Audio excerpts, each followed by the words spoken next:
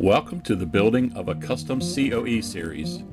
We were lucky enough to become friends with Christian and Kristina from Talent Fabrication and Performance and to get to follow their backyard build of a custom 1939 International Cab over engine or COE. What a great opportunity to see a truly unique custom hot rod being built from the ground up. This is definitely what's called a backyard build as you will see from all the videos. We're not sure how long it'll take to get this creation on the road, but we will be there to document the journey and watch this truck take shape. So be sure to stay tuned.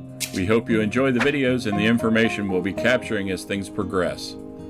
And we'd really like to hear from you during the process, what you might like or not like about the build, new ideas, or anything we can pass along to Christian that might shape the direction of this build as it progresses.